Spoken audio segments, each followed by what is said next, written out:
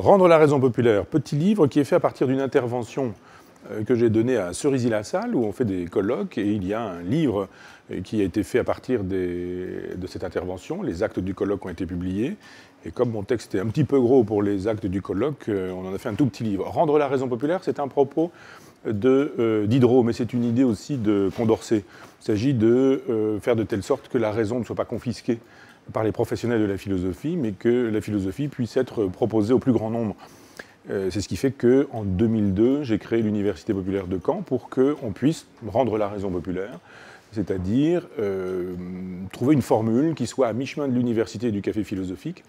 Le café philo euh, est libre d'accès ça, ça me paraît extrêmement intéressant. En revanche, on y bavarde beaucoup. On peut tout de même pas imaginer qu'en posant quelques questions, en retenant une question et en discutant sur cette question, on, fera de la philosophie. Euh, donc la liberté du café philo, c'est bien. Le bavardage, c'est pas très intéressant. L'université, c'est bien pour le contenu, le sérieux des contenus, le travail des gens qui euh, interviennent. C'est moins intéressant parce qu'il faut un diplôme, euh, on, délivre un diplôme, parce qu'on contrôle les connaissances, parce qu'il faut remplir des copies, etc., etc. Donc on garde l'aspect transmission du savoir, ça, c'est pour la première heure. On garde l'aspect liberté et discussion du savoir transmis, ça c'est pour la deuxième heure. Ça fait une séance de l'Université populaire. Ça existe depuis 2002. C'est une aventure collective. On est une vingtaine à travailler à, l'Université populaire. Il y a de la psychanalyse, de la psychologie, de la littérature, etc. etc. Éloge de l'Université populaire, de la philosophie populaire, comme elle était au XVIIIe siècle. Il y a ce petit livre aussi qui s'appelle Le abrégé hédoniste, c'est-à-dire que j'ai fait beaucoup de livres, une soixantaine de livres, et qu'on euh, m'a peu invité à Paris, partout sur la planète, euh, Amérique du Nord, Amérique du Sud, euh, Asie, etc., mais peu à Paris. Et la Bibliothèque nationale m'avait invité trois jours de suite, et j'avais fait une synthèse de mon travail en présentant l'éthique, la politique, l'esthétique, en présentant ma méthodologie, une érotique, voilà. Donc j'avais fait quelque chose de synthétique, et j'ai synthétisé cette synthèse pour faire un petit abrégé hédoniste, pas cher, 3 euros, qui, qui me permet de dire, ben voilà, 60 euh, livres plus tard, comment on peut quintessentier en travail pour en faire euh, un, petit, un petit ouvrage. Dans l'ordre Vie et mort d'un dandy, construction d'un mythe, c'est une conférence a priori que j'ai donnée sur euh, Brumel, et le prince des dandys, qui a fini sa vie à Caen, où il a été consul, et puis il a fini comme semi-fou quasiment à Caen. Il est enterré dans un petit cimetière juste à côté de l'université où j'ai fait mes études. Et donc j'avais, à la demande d'un ami de Saint-Sauveur-le-Vicomte, Saint-Sauveur-le-Vicomte c'est la patrie de Barbé d'Aurevilly, euh, j'étais intervenu sur ce sujet-là. Barbé d'Aurevilly, euh, j'avais lu ses romans euh, jadis, mais ce n'était pas très clair dans mon esprit, il aurait fallu que je retravaille tout ça. En revanche, il a écrit un tout petit livre qui, qui, est une théorie du dandysme, Georges Brumel, et donc j'ai voulu utiliser ma méthode, c'est-à-dire mettre en perspective la biographie l'œuvre, le travail, l'écriture du personnage, et on découvre que ce personnage qui est présenté comme le summum de, l'élégance et du bon goût, finalement un personnage assez détestable, euh, ironique, euh, agressif, euh, méchant, sans foi ni loi, etc. Donc j'ai voulu mettre l'histoire en perspective avec la légende et tâcher de répondre à la question comment se fait-il qu'un personnage détestable et grossier soit devenu le parangon de l'élégance? Et je réponds à la question, c'est Barbé d'Aurevilly qui est à l'origine de la création du mythe. Et à partir de Barbé de Révilly, il y aura aussi euh, Baudelaire qui, tous les deux, vont fabriquer une espèce de personnage conceptuel.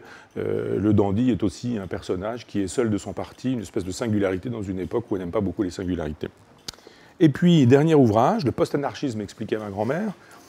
Je veux dire, j'ai pas de grand-mère, j'ai une grand-mère bien sûr, mais je veux dire, mon père était, euh, était, un vieux papa quand je suis né et ma mère était de l'assistance publique, donc je n'ai jamais connu mes grands-parents. Mais c'est un clin d'œil ironique à la, aux publications d'aujourd'hui où les gens écrivent à leur fils, à leur fille ou je ne sais quoi. Donc euh, je voulais expliquer ce concept bien connu aux États-Unis, le post-anarchisme, pas connu du tout en France.